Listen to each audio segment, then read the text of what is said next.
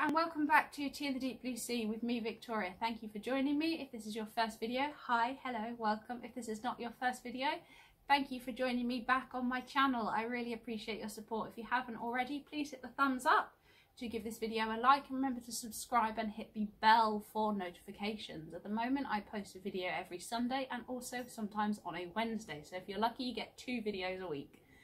If you haven't already, please follow my Instagram. I will link it down in the description for some great photos, videos and behind the scenes content.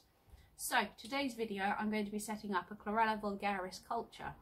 Chlorella vulgaris is a species of freshwater algae. So what exactly is algae? What is phytoplankton? So phytoplankton is plankton consisting of microscopic plants such as algae and there's various species of algae, various genuses and this all makes up phytoplankton. So the specific algae I'm going to be concentrating on today is called Chlorella vulgaris, which is a species of freshwater algae. So it grows in fresh water, not salt water. So such as tap water. Tap water is fresh water. Phytoplankton are marine microscopic algae. There are many different species, both freshwater and marine. Algae is at the bottom of the food chain, so it supports life in the oceans, in lakes, in rivers, everywhere. All of the water, algae is the bottom of the food chain and it supports life all the way up to great sharks. Zooplankton, which is microscopic animals, they feed on the phytoplankton. They are then eaten by small fish and crustaceans, which are then eaten by larger fish or small sharks, and they're then eaten by apex predators. So all the way up the food chain, algae is what supports life algae is vital for life. Algae is so fascinating and so interesting and it is really important. So different algae looks different under a microscope. You've got spirulina, which looks like a little spiral, looks like little snakes. And today's one is chlorella, which looks like small, tiny little round, very green circles under the microscope. So different algae can be fed to different species. So you've got things like Nannochloropsis, which can be fed to corals and brine shrimp. It's a marine algae, so it grows in salt water, like the salinity of the ocean. And you've got freshwater species, like today's, that can support freshwater algae feeders. Chlorella is a single-celled green algae, and under the microscope, as I said, it looks like little green circles.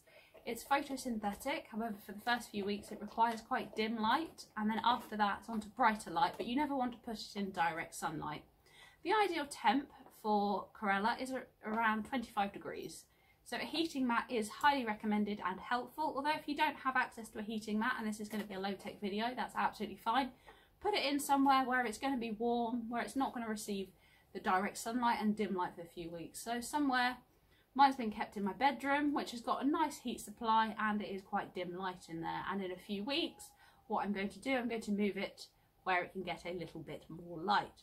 So that is chlorella. One important thing to remember with a chlorella culture, the chlorella will sink to the bottom of your culture jar. So just make sure you give it a shake or just invert it a few times just to make sure it stays within the water column. So today's video I'm going to set up the culture and I'm going to do it really simply with very minimal tech and show you how to do it. It's really, really quick and easy and really simple to do. So I hope you enjoy the video and learn about Chlorella. Thank you very much for watching. Enjoy. Cheers. My mug today is from Ellie's Bug Babies. If you haven't already subscribed to her channel, please go and give it give it a like, give it a subscribe, watch some of her videos. They're really great, really interesting. Another brilliant channel that I highly, highly recommend you check out and I will leave her link down in the description for you.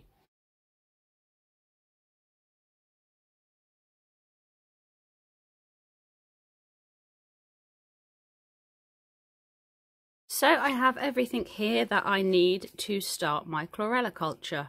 I have washed my hands and I have gloves on so I don't contaminate the culture. I have this really handy culturing manual that is from Algae Research and Supply in the US. And it has about different types of algae.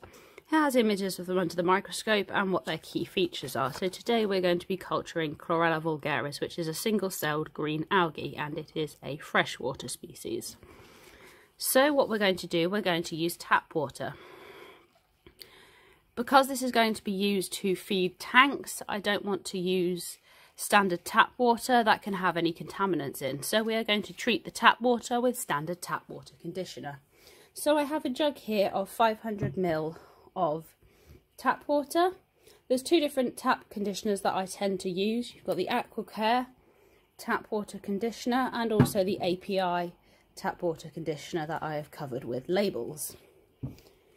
So they're quite concentrated, so that's why I'm making up a much larger volume of water than I actually need. Because what I tend to do is make up a litre, half a litre, and then just use that, save it and use it as I need. So I'm going to use the AquaCare tap water conditioner today.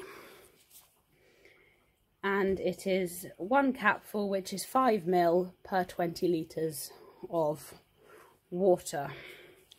So we only need a tiny, tiny, tiny amount. I'm just going to open that up.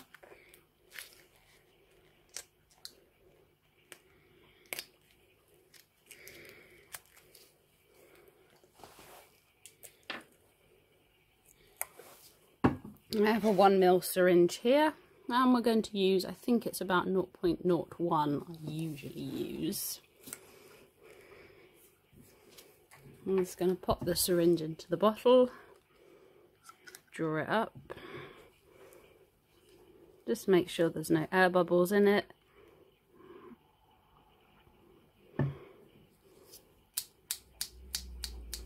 And that's just a handy tip for getting the air bubbles out. And squeeze that into there.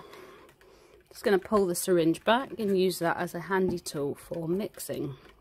So we have our tap water ready.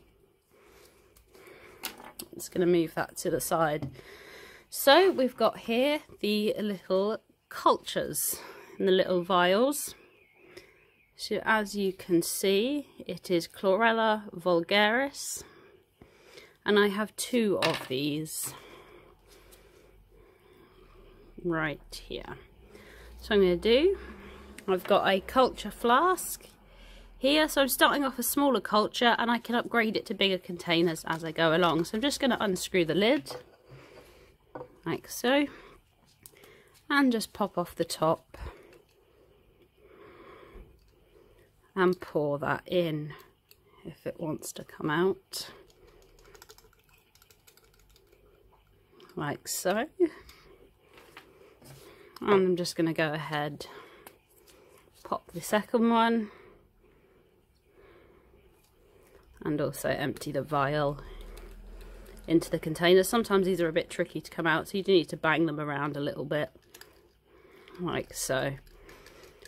So what we're going to do now is just top that up with the tap water.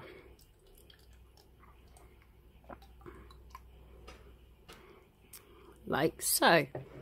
One last thing you need to add is the growth nutrient. I'm just going to go and grab that out of the fridge and I'll be right back. So this is my phytoplankton nutrient from Reef Phyto where I get most of my culturing stuff from. So you add 3 mil per 2 litres of water and we're doing a really small culture so we only need to add probably about 1 mil will be fine because you can on your first culture add 6 mil so we're going to add 1 mil and having too much won't matter too much. As you can see it's covered in stickers and this gets stored in the fridge and it's based on the Guillard F2 medium. Whether that's pronounced right I don't quite know. So we've got a fresh syringe just going to pull up, up in and draw up one mil and pop that directly into the culture flask. And that will go back in the fridge. Just going to put the lid on, screw it on as so, and just give it a little bit of shake that will help with the aeration. So it is photosynthetic, but it wants dim light for the first few weeks. So I'm going to put it in the bedroom where there is some light, but most of the day it's quite dim light in there. So that is how to set up a basic chlorella culture. It does need to be aerated, but what you can do is just shake it up like so to aerate. So that's how to start a very basic culture with no technology, nothing, just basic supplies. So here you go. This is the chlorella culture. So that was how to culture chlorella. I hope you've enjoyed the video and learned something. If you've got any questions at all about algae or chlorella, or anything you have seen in this video, please let me know down below and I'll be happy to answer your questions. Any specific video requests, also let me know down below and I will see what I can do. Thank you very much for watching. I highly appreciate your support. Please hit that like and subscribe button and tap the bell for notifications. And I look forward to seeing you next time. Cheers.